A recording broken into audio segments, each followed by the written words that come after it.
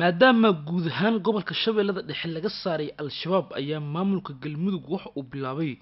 diyaargarowgii ugu dambeeyey ee al-shabaab looga saarayo deegaanada ay kaga sugan yihiin galmudug.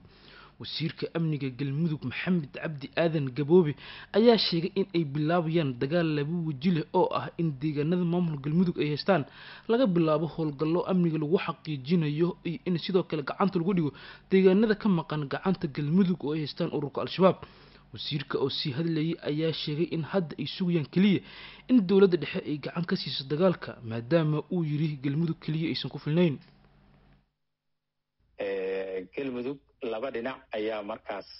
ayuu muxuu ahaa howlgalladu toos uga bilaabanayaan. Dhinac waa dhulkii markii hore ahaa amniga galmudug gacanta ku haysay. Dhinacna waa dhinacii hore hadda ciidamadaasi ay ka soo socdaan labadaas waajahaba dee galmudug wuu ka bilaaban doonaan insha allahu howlgalladan u dambeeya haddii alla idmo. Dagaalku awal dhinacaas wuxuu ka socday hirshabelle dhinacan kalena kolley waxaa laga bilaabi doonaa waqtiyada soo socda galmudug diyaar garowgeedii bay ku jirtaa waana gebagabo insha allahu waxaan rajaynaynaa inuu mar dhow bilowdo haddii alla idmo uu ka bilowdo labada dhinac oo la isugu yimaado meel dhexe ciidamadu isugu yimaadaan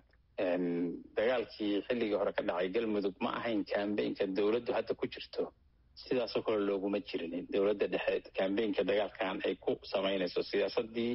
ayaa kala duwaneed xilligii hore dowladdii farmaajo ayay ahayd wixii galmudug markaas uu ka bilowday dagaalku ka bilowday. Markaasna galmudug keliyay ku ekay